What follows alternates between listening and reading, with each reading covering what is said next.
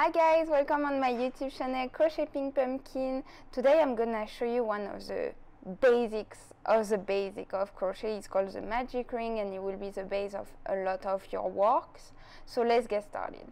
You wrap your, your thread around your fingers like that.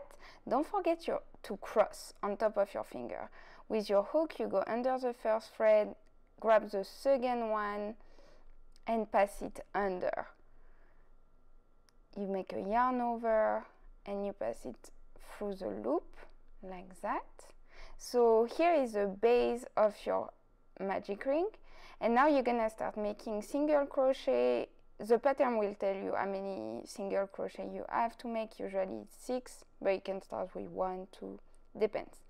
So the most important is when you make your single crochet you see the cut thread has to always be included in your um, in your magic ring and it has to be included in your single crochet. So it's very important because if not when you pull it it's just not gonna close the ring.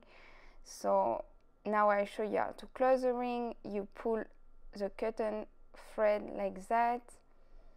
And there you go. You get your magic ring. Don't forget to subscribe if you like this video and i see you very soon for new crochet adventures.